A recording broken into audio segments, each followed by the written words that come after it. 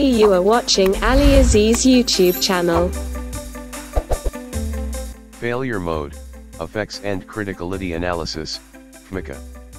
Ali Aziz Quality Education channel providing you the job best interview related videos so don't forget the subscription button.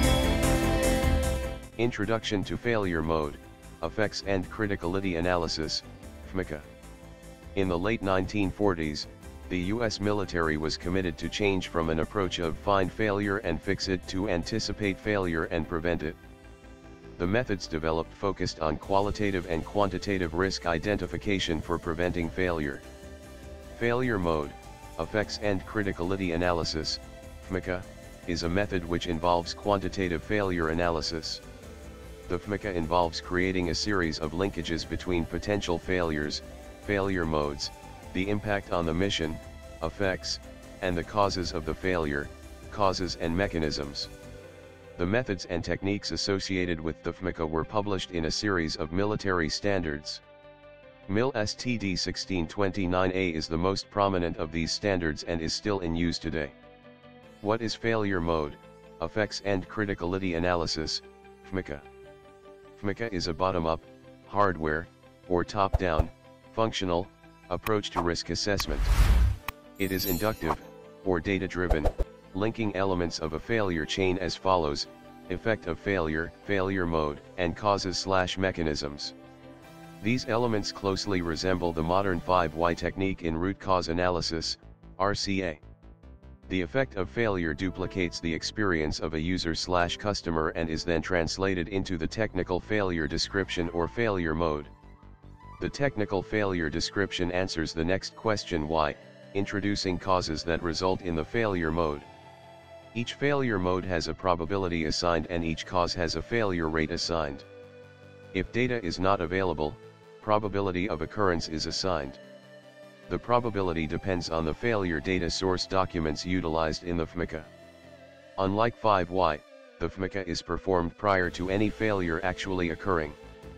FMECA analyzes risk, which is measured by criticality, the combination of severity and probability, to take action and thus provide an opportunity to reduce the possibility of failure. FMECA and failure mode and effects analysis, FMEA, are closely related tools. Each tool resolves to identify failure modes which may potentially cause product or process failure. FMEA is qualitative, exploring what-if scenarios, where FMEA includes a degree of quantitative input taken from a source of known failure rates. A source for such data is Military Handbook 217 or equivalent. There are two activities to perform FMEA. Create the FMEA. Perform the criticality analysis. Measured criticality is the intersection of severity and cause probability rankings. Results are depicted in four primary criticality zones. Criticality is used to determine product or process design weaknesses. Two quantitative and one qualitative options exist for FMECA criticality as identified below. Quantitative Mode criticality equals item unreliability x mode ratio of unreliability x probability of loss x time, life. Item criticality equals sum of mode criticalities. Qualitative. Compare failure modes via a criticality matrix, which identifies severity on the horizontal axis and qualitatively derived occurrence on the vertical axis. Severity is on the vertical axis and occurrence is depicted on the horizontal axis. This is often used as an alternative for the risk priority number, RPN, in FMEA. Why perform failure mode, effects and criticality analysis, FMECA. The intent of the failure mode, effects and criticality analysis methodology is to increase knowledge of risk and prevent failure. The tangible benefits of FMECA are offered in the following categories. Design and development benefits. Increased reliability. Better quality. Higher safety margins. Decreased development time and redesign. Operations benefits. More effective control plans. Improved verification and validation testing requirements. Optimized preventive and predictive maintenance. Reliability growth analysis during product development. Decreased waste and non-value added operations, lean operation and manufacturing. Cost benefits. Recognize failure modes in advance, when they are less costly to address. Minimized warranty costs. Increased sales from customer satisfaction. How to perform failure mode, effects and criticality analysis, FMECA. The basic assumption when performing FMECA instead of FMEA is the desire to have a more quantitative risk determination. The FMEA utilizes a more multifunctional team using guidelines to set severity and occurrence. The FMECA is performed by first completing an FMEA process worksheet and then completing the FMECA criticality worksheet. The general steps for FMECA development are as follows. FMEA portion, see our FMEA page for more details. Define the system. Define ground rules and assumptions to help drive the design. Construct system boundary diagrams and parameter diagrams.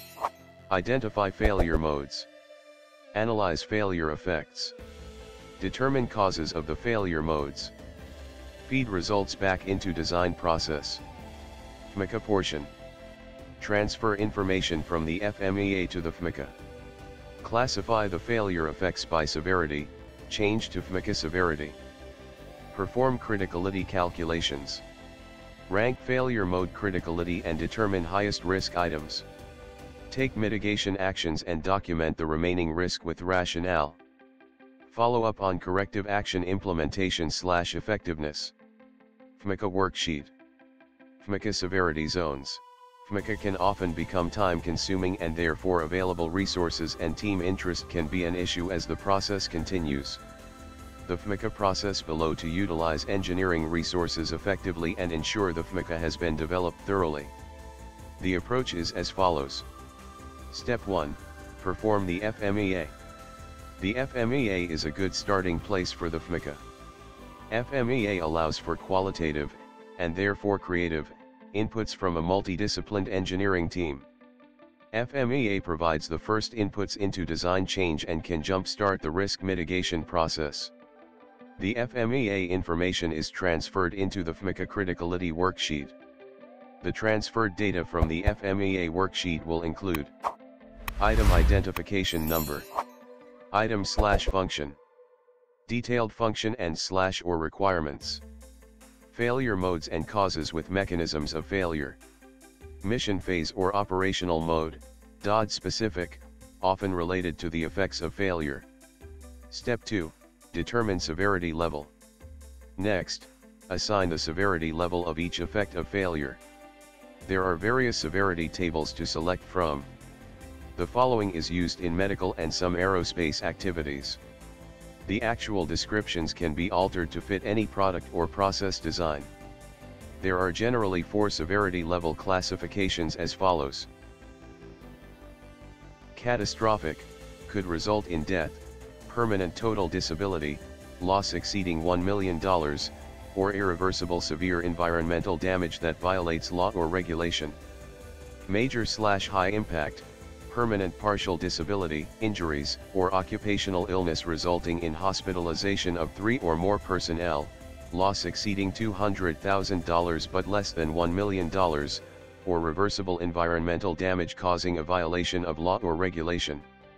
Minor impact, could result in injury or occupational illness resulting in one or more lost workday, s, loss exceeding $10,000 but less than $200,000, or mitigatable environmental damage without violation of law or regulation where restoration activities can be accomplished. Low impact, result in minor injury or illness not resulting in a lost workday, loss exceeding $2,000 but less than $10,000, or minimal environmental damage. Step 3, Failure Effect Probability. In some applications of FMECA, a beta value is assigned to the failure effect probability. The FMECA analyst may also use engineering judgment to determine the beta value.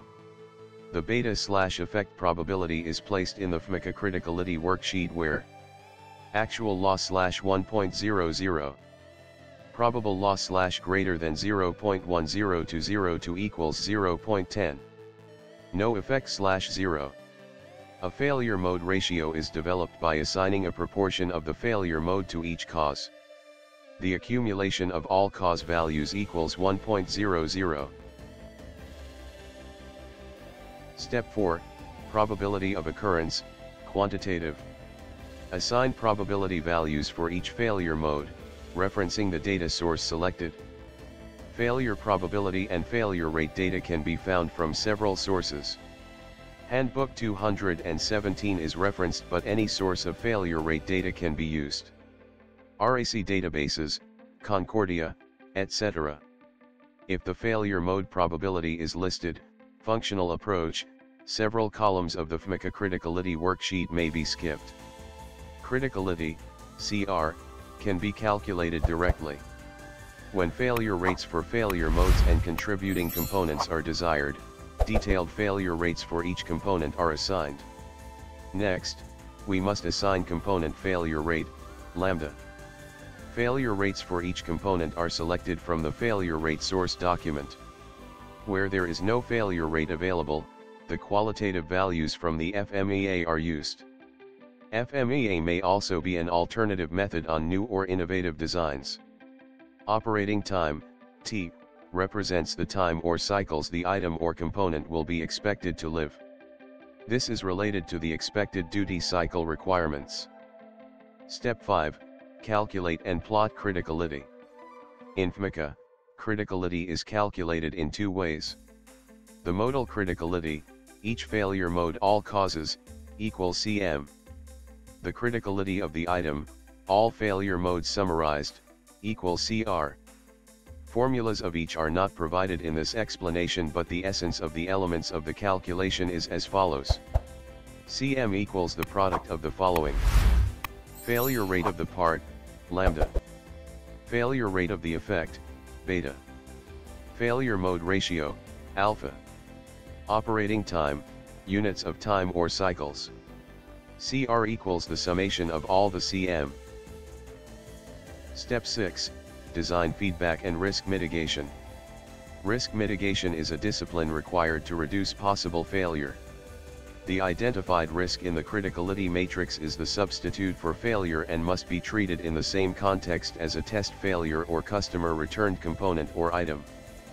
FMECA requires a change in risk level slash criticality after mitigation. A defect slash defective detection strategy, commensurate to the risk level, may be required. Acceptable risk management strategy includes the following. Mitigation actions directed at highest severity and probability combinations. Any risk where mitigation was unsuccessful is a candidate for mistake proofing or quality control, protecting the customer slash consumer from the potential failure. Detection methods are chosen for failure modes first and if possible individual causes which do not permit shipping or acceptance.